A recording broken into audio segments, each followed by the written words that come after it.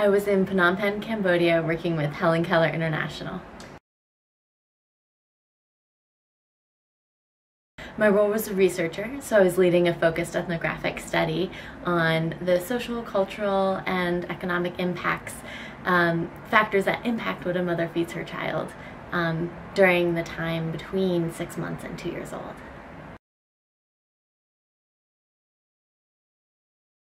I found investigative methods really useful because I saw how quantitative and qualitative methods can be used together, and then um, also qualitative methods in the core was really vital. Yeah, the one that comes to mind is when our two enumerators, Sodine and Mani, really took agency over the interview and were probing and asking questions to delve in and um, it, was just such a thrilling experience to see how they really took ownership over the tool.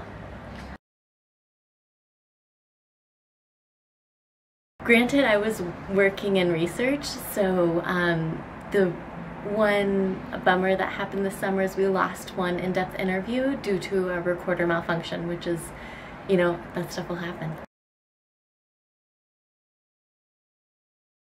Definitely, this was my first time working with qualitative research, and I see just how interesting and important it is.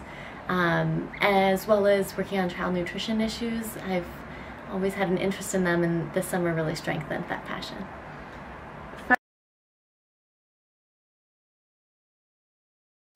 Um, you know, be open and flexible. I think that those uh, little pieces of advice really helped me this summer to uh, experience all and be open to what the practicum had to offer.